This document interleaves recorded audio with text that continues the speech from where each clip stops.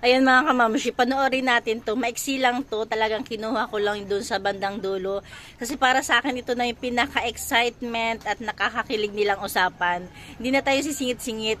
Um, panoorin na lang natin para kahit papano is marinig natin ng mas maayos. Tapos sa bandang dulo, doon na lang tayo magre-reaction. Tara, keep on watching. So ano, excited ka na sa birthday mo?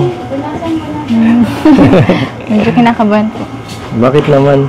Kasi first time ko lang naman po maganyan. Mga Mga engranding ano, celebration na ikaw ang bida. Mahal-mahal ka ng sponsor mo eh.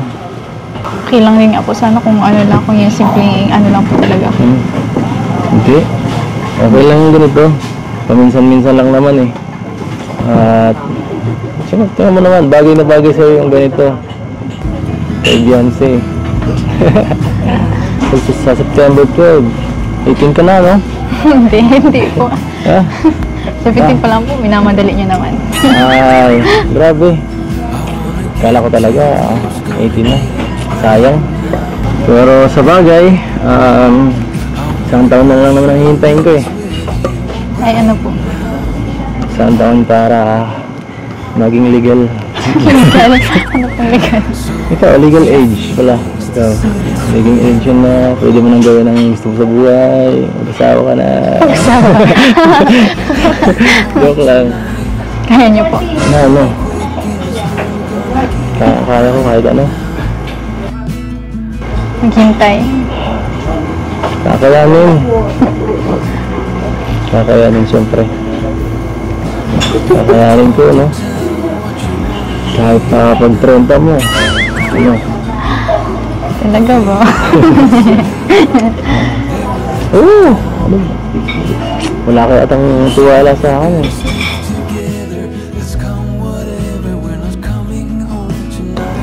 Um, pero, isip-isip ko naman. Tagal din no? 30. Tanda ka na nun. Stable naman na po nun. Ha? Stable na rin ako ngayon. Hmm. Diba?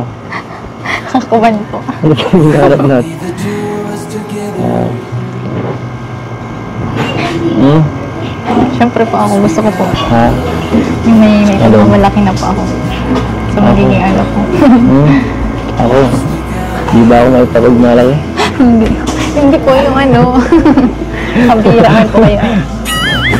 Yung ibig ko pong sabihin yung ano, sarili ko pong achievements. Ah.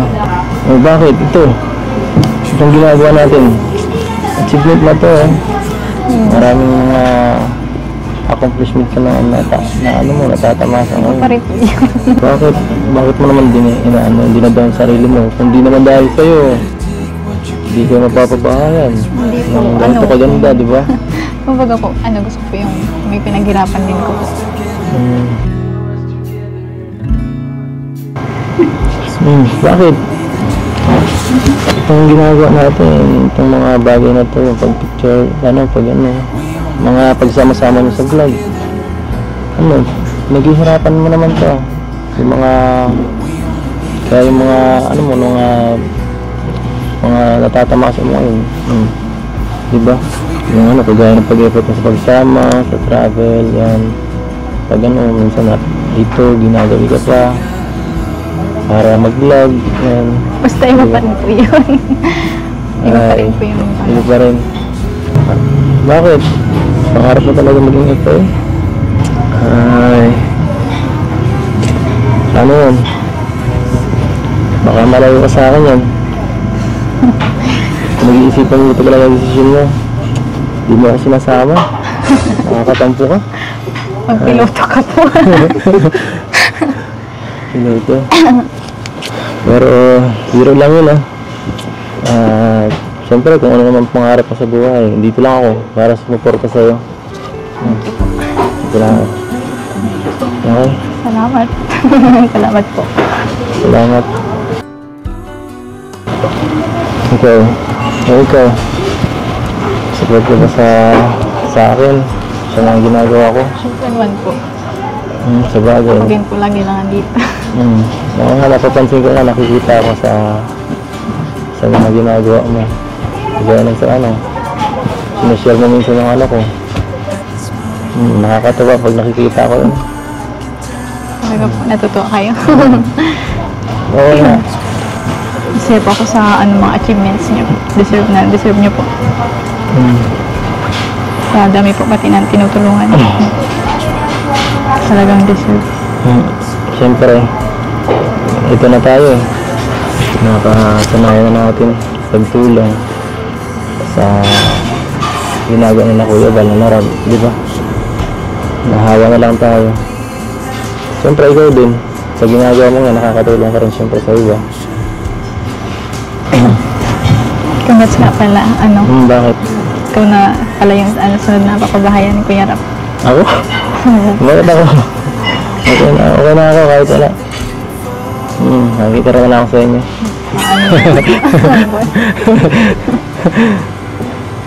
Hmm. Ah, siyempre, mas maraming mas deserve sa akin tulungan, no? Ako, okay naman ako, di ko naman masyado kailangan ng bahay. May bahay pa kami, tinitira no. Hindi naman yung sira. Iba naman po yun. Yung sa mga staff daw. Hmm. Pero kahit na, bakit ako magtatayo ng bahay? Ipapa, papagawa kung wala pa naman akong asawa, wala akong kasama dun, di ba? Kawawa naman ako dun, magsusulo ako dun. Hindi mo yung naisip. Buti kung may kasama akong itira dun. Alam ko na. Siguro, pagkasal lang natin.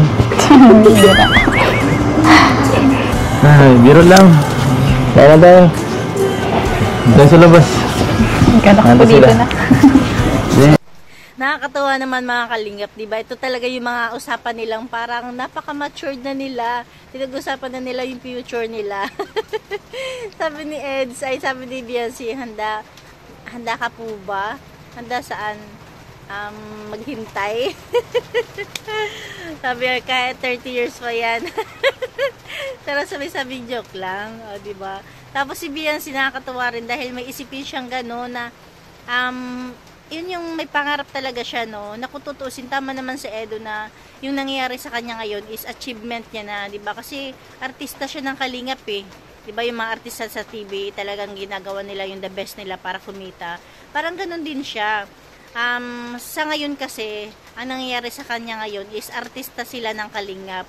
Pero hindi natin alam kung kung maging totohanan yung kanilang serye-serye, edi mas okay, mas maraming matutuwa, mas maraming mag ano sa kanila talagang kasi marami silang napapasaya, promise. Kahit nga ako eh, kapag medyo na-stress ako rito, manunod na lang talaga ako ng mga love team, love team. talagang lahat ng love team ni Kalinga Promise, sinusuportahan ko. Talagang kailangan is panoorin natin yan. Hindi pwedeng magpalya tayo. Di ba nakakatawa talaga tong dalawang to. Tapos ang ano na nila, ang ano talaga nila parang napakakalmado, di ba? Bagay na bagay sila. Ang ano ang kalma nila mag-usap, tapos may hinahon, di ba? Parang ano na, paano nila kapag nakapagtapos na talaga si Beyonce, parang mga professional na no. Tapos nagbagay pa sa kanila yung suot nila habang nag-uusap sila, di ba? Hindi mo mapapagkamalang 17 years old si Beyonce. Nakakatuwa. Ayan lang, yan natin kunting share-share. Thank you for watching. God bless you all and Jesus loves you. Ayan, bali maiksi lang yan dahil doon sa una kong reaction, andun na yun.